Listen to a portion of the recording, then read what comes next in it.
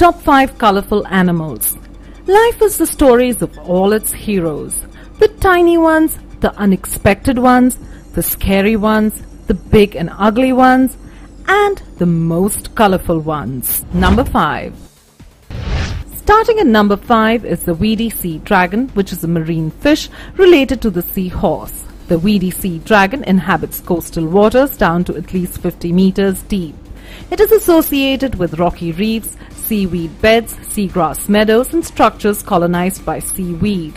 Adult weedy sea dragons are a reddish color with yellow and purple markings. They have small leaf-like appendages that provide camouflage and a number of short spines for protection. Males have narrower bodies and are darker than females. The weedy sea dragon is a weird, wonderful and colorful underwater creature. The female produces 250 eggs at a time and the male looks after them. And he can't lose them either. They're bright pink. Number 4. At 4 is the Temminck's tragopan. The colorful Temminck's tragopan is considered by many to be the most beautiful pheasant in the world. Male Temminck's are bright orange crimson, spotted with pearl grey dots below and black bordered white dots above. Perhaps even more striking is the vivid pale blue skin of the face and the bib-like wattle that hangs from the throat typical of tragopan males, bearing a spectacular pattern of darker blue-violet markings down the center and conspicuous scarlet markings down each side. The crown and neck are mostly black. In contrast to the extravagant array of colors boasted by males, females have dark plumage mottled with black, brown and gray which helps camouflage them in their forest habitat. The Temminck's tragopan is certainly striking. It's no surprise it's considered to be the world's most handsome pheasant. Number 3 Coming in at number 3 are the beautiful bird of paradise.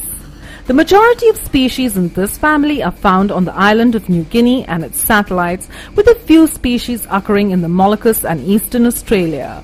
Birds of paradise are generally crow-like in general body form and indeed are the brother group to the crows and jays.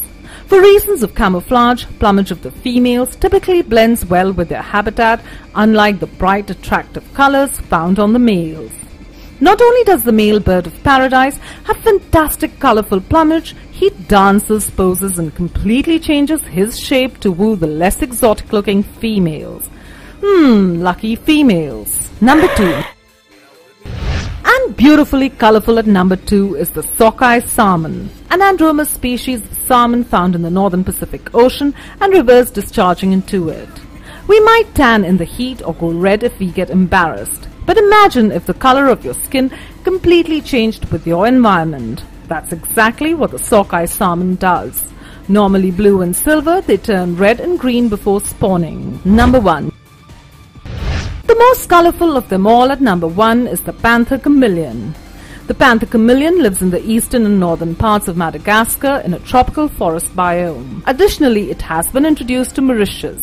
Male panther chameleons are more vibrantly colored than the females. Panther chameleons from the areas of Nosy Be, Ankify and Ambanja are typically a vibrant blue, while those from Antsiranana and Sambava are red, green or orange. The areas of Maroantsetra and Tamatave yield primarily red specimens. There are numerous other colorful phases and patterns differ between and within regions.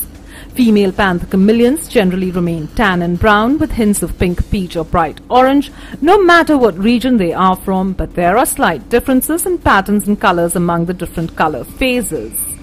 Red, white, green and blue, and that's just some of the time. The panther chameleon has an amazing ability to change color to hide itself. But unlike us, it can't pick what color coat it wears. That's affected by temperature, light and even its mood.